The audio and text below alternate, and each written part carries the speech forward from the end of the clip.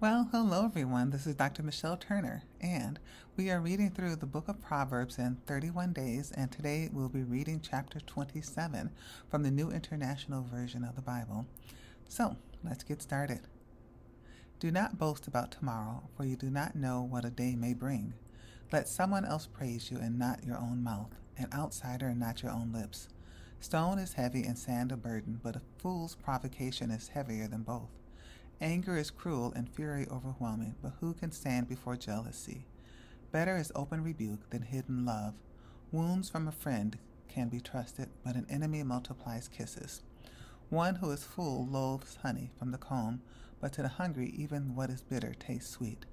Like a bird that flees its nest is anyone who flees from home. Perfume and incense bring joy to the heart, and the pleasantness of a friend springs from their heartfelt advice. Do not forsake your friend or a friend of your family, and do not go to your relative's house when disaster strikes you. Better a neighbor nearby than a relative far away. Be wise, my son, and bring joy to my heart.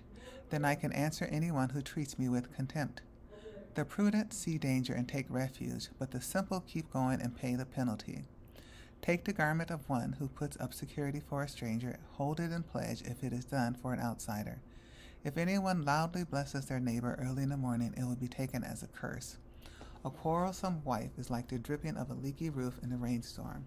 Restraining her is like restraining the wind, or grasping oil with the hand.